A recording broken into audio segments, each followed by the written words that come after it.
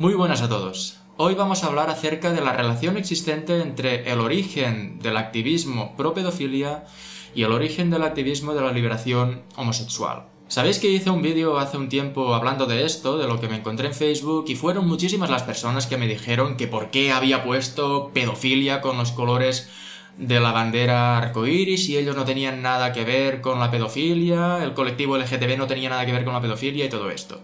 Así que vamos a hablar sobre este tema, que obviamente es un tema muy delicado, pero la verdad es que sí existe mucha relación entre el origen del activismo pedófilo y el origen del activismo homosexual. Pero antes que nada, si quieres tener acceso a contenido exclusivo, entrar en nuestro grupo de Telegram, colaborar en mis entrevistas o incluso hablar conmigo por Skype, además de contribuir a librar esta batalla cultural, apóyame en Patreon.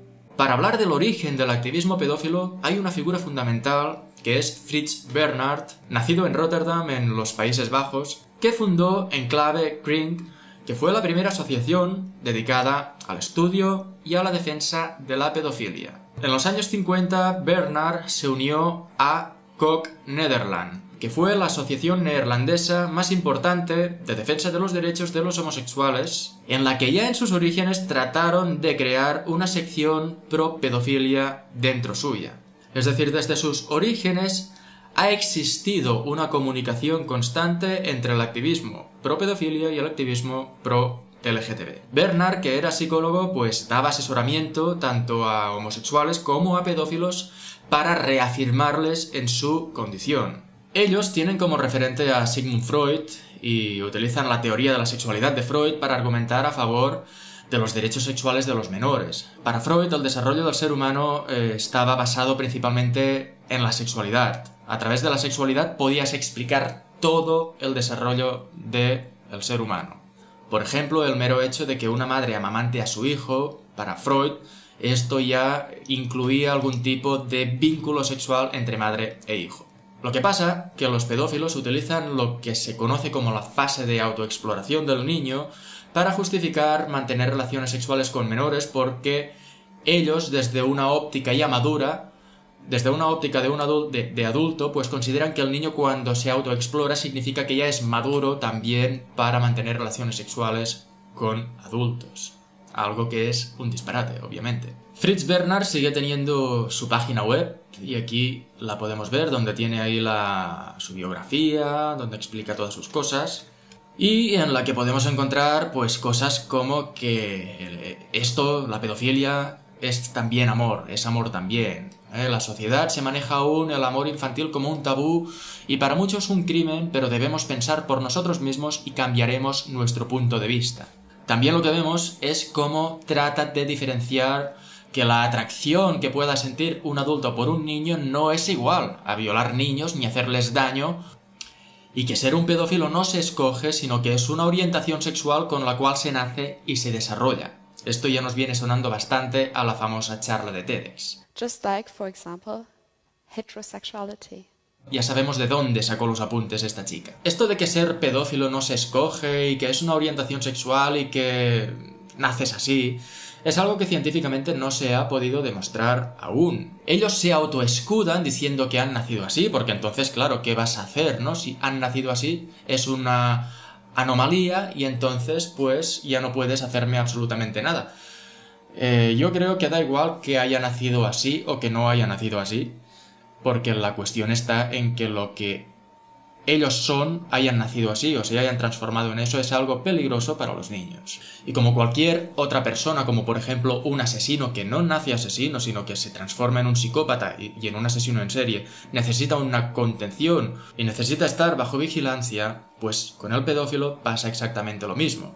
Para que no haga daño a otras personas, tiene que estar bajo vigilancia. Después también podemos leer perlitas como que la sociedad te rechaza si eres pedófilo porque aún vivimos en un mundo retrógrada. Pero piensa que amar romántica y sexualmente a un niño o niña no te hace una mala persona. Nunca lastimarás a un niño si sientes amor por él. Esto es otra falacia y otra mentira victimista. Evidentemente, aquel niño que ha sido acosado sexualmente por un adulto, está demostrado científicamente que cuando crezca desarrollará un número mucho mayor de traumas y de problemas psicológicos que una persona que no haya sido acosada sexualmente durante su infancia. Y después otra falacia es que un niño puede eh, libremente elegir mm, querer mantener relaciones sexuales con un adulto, porque claro, como los niños también son seres sexuales, pues a lo mejor él eh, quiere y tiene que tener sus derechos y sus libertades para manifestarse y liberarse sexualmente. Esto no es así porque el niño nunca busca este tipo de contactos sexuales hasta una cierta edad. Otra cosa es que alguien chantajee o manipule a un niño para hacer algo y tratar de convencerle de que realmente quería hacerlo, pero esto nada tiene que ver con la voluntad del niño, que no somos tontos. En fin, yo os he dejado el enlace en la, en la descripción. ¿Veis? Aquí habla de, la, de cómo los niños también son seres sexuales y demás. Yo os he dejado el enlace a esta página en la descripción por si a alguien le interesa, porque bueno, por lo menos es interesante ver cómo piensa esta gente. Con el paso de los años y con mucho activismo pedófilo en los 60, 50, 60, 70, la cosa fue avanzando y llegando el activismo pro pedofilia a otros países, incluso a otros continentes como por ejemplo Estados Unidos. En 1978 en Estados Unidos se fundó NAMBLA, que es la Asociación Norteamericana por el Amor entre Hombres y Chicos, y que actualmente es la considerada mayor organización pedófila del mundo. NAMBLA tiene también su propia página web, aquí podemos verla, y como podemos ver tienen el arco iris del colectivo LGTB metido ahí. Así que aquellos que queráis saber por qué puse eh, los colorines arcoíris en, en la palabra pedofilia, ya sabéis de dónde lo saqué. Lo saqué de la principal organización pedófila del mundo que está utilizando el arco iris como emblema propio. Aquí vemos también June Pride 2020 and International Boy Love Day. El día 20 de junio es el Día Internacional del Amor por los Niños. Ellos utilizan muchísimo la palabra love porque así queda como mucho más inclusivo y como mucho más bonito, pero realmente no quieren amar a los niños, lo que quieren es sodomizarles, lo que quieren es mantener relaciones sexuales con ellos. Para tú amar a un niño no necesitas darle por culo.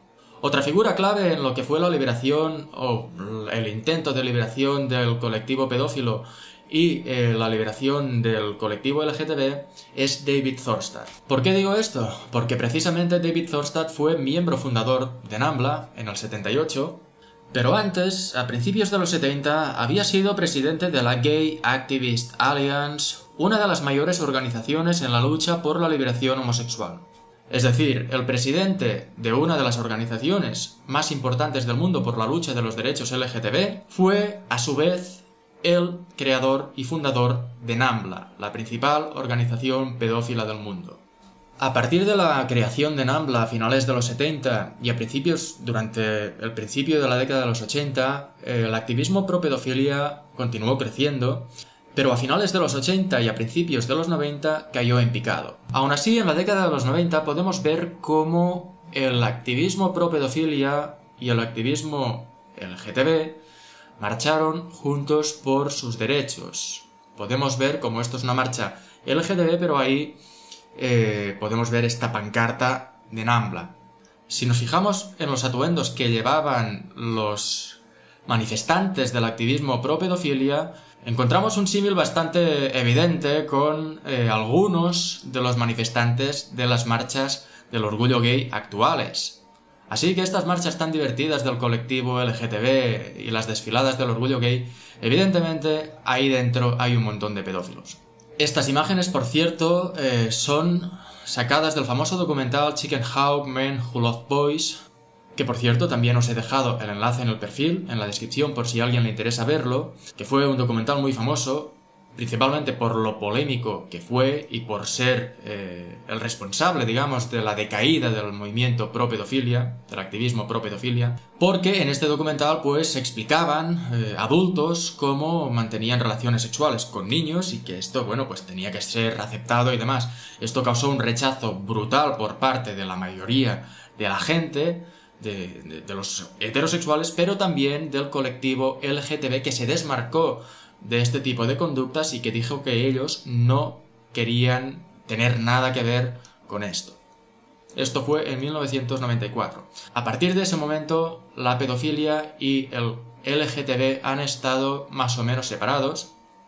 Si bien es verdad que dentro del colectivo LGTB hay un montón de pedófilos, pero no exclusivamente dentro del colectivo LGTB, porque también hay gente que no es homosexual y que también han sido pederastas. Pero quiero remarcar una cosa y es que últimamente estamos viendo como, eh, ya sabemos, nuevos avances por parte del colectivo de pedófilos, nuevos intentos de eh, formar parte de nuevo, como antes, del colectivo homosexual. Y como ya os he contado algunas veces, el año pasado vimos cómo trataron de marchar los pedófilos juntamente con los LGTB durante las marchas del orgullo gay en Ámsterdam. Estamos hablando de 2019, no de hace 20 años. Así que tenemos que estar atentos porque lo están intentando constantemente y ellos quieren ser reconocidos como una orientación sexual normal y quieren formar parte del colectivo ultra discriminado LGTB. Creo que los LGTB tienen aquí una parte fundamental de, responsabilidad en mostrar de nuevo rechazo hacia este tipo de conductas, pero no solamente los LGTB, sino también todo el mundo que esté mínimamente cuerdo. Y creo esto que digo porque los LGTB, la bandera arcoiris, puede todavía eh, aceptar muchos más colorines, pueden añadir muchos más colorines nuevos, entre ellos un color nuevo que sería el de los pedófilos, y van a intentarlo. Así que cualquier homosexual que esté mínimamente cuerdo, sería bueno que se desmarcase públicamente de este tipo de conductas. Así como lo están haciendo ya muchos eh, homosexuales que se desmarcan incluso del lobby LGTB y de la bandera arcoiris, que solamente aceptan a homosexuales de un cierto tipo y de una cierta ideología. Y nada más, lo dejo aquí. Si os ha gustado el vídeo, por favor, dale like, suscríbete al canal y compártelo. Y muchísimas gracias sobre todo a mis Patreons por vuestro apoyo. Un abrazo y hasta la próxima.